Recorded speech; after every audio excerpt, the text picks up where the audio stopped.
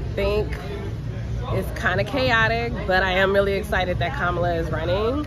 Um, I did get a little bit nervous when we had found out that Trump was going to be running again, but um, when they had kind of did that switcheroo and had Kamala come in, it kind of gave a lot more hope for what was coming.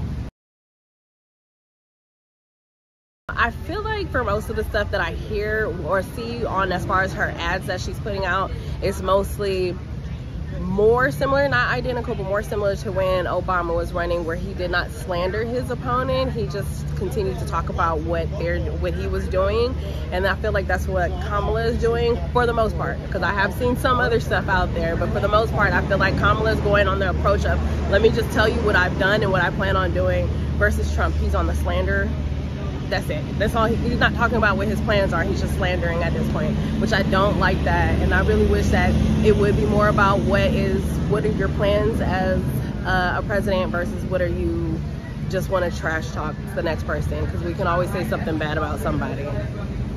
I feel good about it. I hope that it's gonna be Kamala and Walz.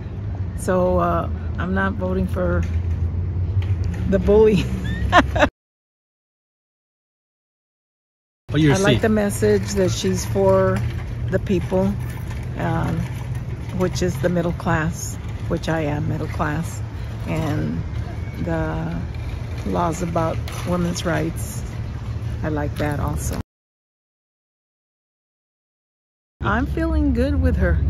I think she's she's running good. I think she's it's gonna be a hopefully not a tie, but I think it's gonna be close race. Yes. kind of everybody just kind of say what you want to hear.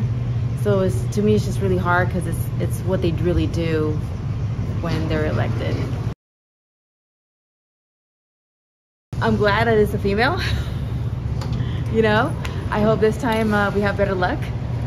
Um, as far as uh, the other candidate, um, in the past he has done real good stuff. I don't like how he talks about women. Um, and that's the only reason why probably I would not vote for him. But I think she's doing really well and she seems to have a lot of momentum. And I, I've donated to the campaign and it sounds like she's doing really good with her fundraising. So yeah, things look good. On the Republican side, it's a little more negative. It's more making it more personal and just like the attacks seem to be a negative thing. I don't think that's a, a good course for them. Um, I think Kamala Harris and her VP pick are, are much more hopeful and positive for everybody. So I'm looking forward to November. I think there's a lot of work to be done. I wouldn't take anything for granted, but I'm feeling optimistic. Better than I have in a while. it was a little depressing for a while there, but uh, I'm getting very excited now. It seems, I don't know, I'm hopeful.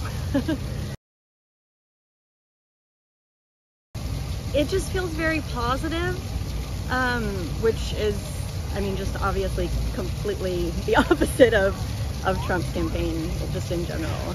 It's just so negative. It's, it's nice to hear such a positive, hopeful message, I think.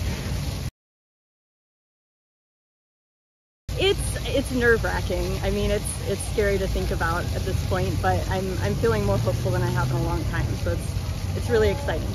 Oh my gosh, I'm so excited. This is amazing. Both of them are fantastic candidates. I'm excited for Kamala. She's going to be amazing as our president, and our vice president, Mr. Wall, is going to be fantastic too. So we're just over the moon. The Trump doesn't have a message. All he does is talk about himself. The Harris actually wants to do something for our country, and I'm excited about them wanting to do something for the people of this country. Whereas the other people, they get nothing done. They sit and they just whine, or Trump just talks about himself. I'd rather listen to someone that's actually going to do something for this country.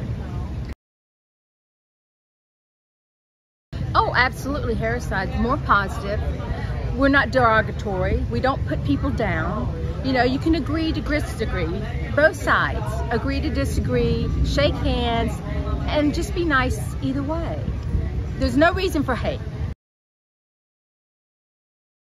Absolutely, absolutely, she can take this state. Biden took the state, so Harris absolutely can take the state too.